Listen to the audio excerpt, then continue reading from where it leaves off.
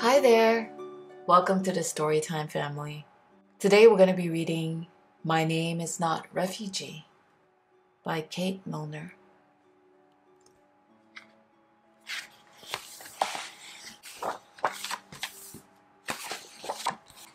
My name is not Refugee. We have to leave this town, my mother told me. It's not safe for us, she said.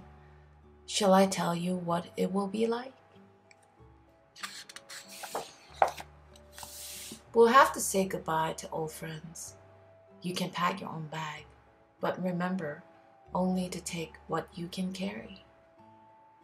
What would you take?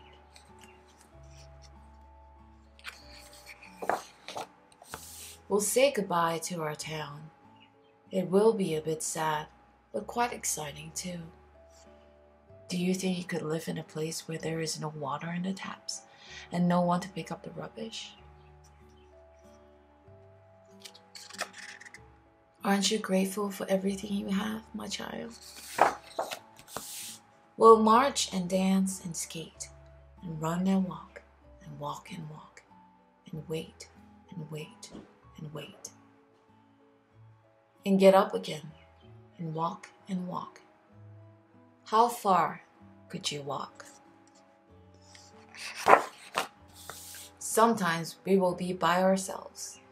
It might get a bit boring. What games can you think of?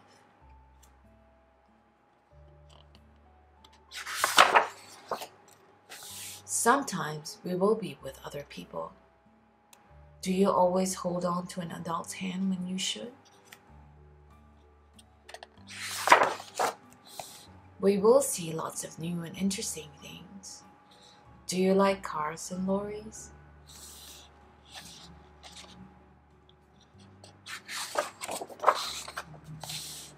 We'll sleep in some strange places.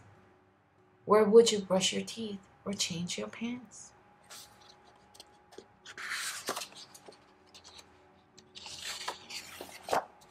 We'll hear words we don't understand.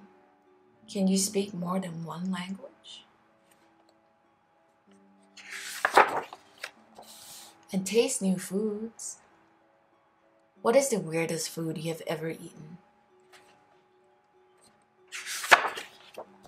We'll get to a place where we are safe and we can unpack. What things would remind you of your old home?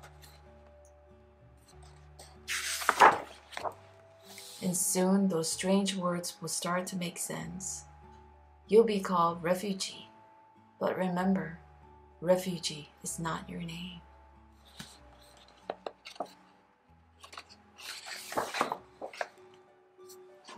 The end.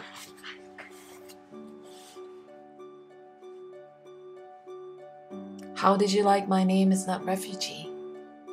It's quite a sad story, but also inspiring. Hope you're grateful for everything you have. Leave us a comment. Don't forget to give us a like and subscribe. Tap on the notification button for the next story. To buy this book, find the links on the description below. Thank you for joining us. We'll see you again soon. Take care. Bye bye.